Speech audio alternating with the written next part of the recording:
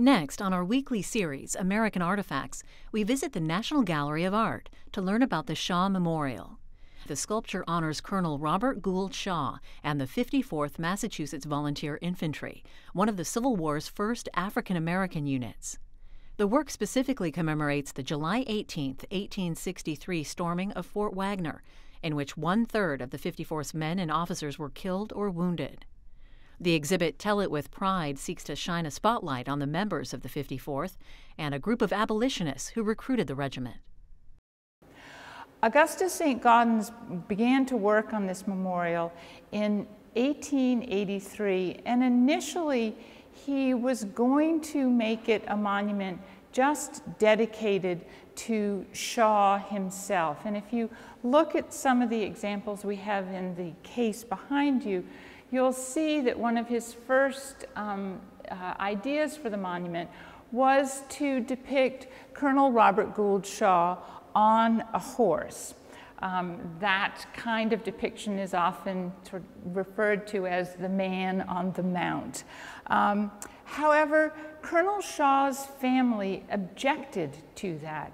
They thought such a depiction was too grand a way to show their young son. He was, after all, only 25 years old when he was killed at the Battle of Fort Wagner. And they thought that that kind of depiction was better reserved for generals and not a colonel like Shaw. Moreover, Shaw's family felt that it would be more appropriate to show him with his troops. So St. Gaudens went back to the drawing board, quite literally, um, and came up with this conception um, with the idea of putting Shaw surrounded by his troops. It was truly a revolutionary idea for the time. But even more revolutionary was the way that St. Gaudens depicted the figures. He spent an immense amount of time trying to get all the details in the monument correct. Um, the details of their equipment, their rifles, um, their knapsacks, their bedrolls, uh, their hats, all of their uniforms. He borrowed photographs of Shaw in order to, to render Shaw's face accurately. And if you look at the depictions of the African Americans, you can see that he's very much individualized them. Some are older, some are younger, some have beards, some have thicker facial features, some thinner. And this might suggest to you that he had also perhaps tried to find either surviving members of the 54th Regiment or perhaps even photographs of members of the 54th. But that was not the case.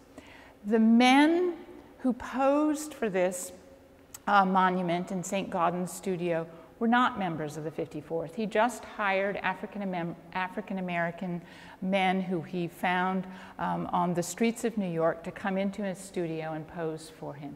And so that gave us the idea to form an exhibition which would try and bring the members of the 54th to life we sought to find photographs of the actual men of the 54th to bring them out of the shadows, um, as it were.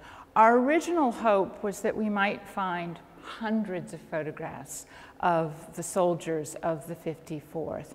And indeed, there were close to 1,500 men who were members of the 54th Massachusetts Regiment during the two years uh, that it existed. Alas, we were only able to uh, find and borrow 18 photographs of men of the 54th. But that then forced us to think about expanding the exhibition in other, I think, very exciting and meaningful ways, to look at 1863 in a broader way and think about what sparked the formation of the 54th Massachusetts Regiment, to look at the other men and women who helped form it um, and who helped support it um, while it was in action. And that's what we've shown in the other rooms. You've been watching a preview of our weekly half hour American Artifacts program. Visit cspan.org/history for schedule information and to view entire programs online.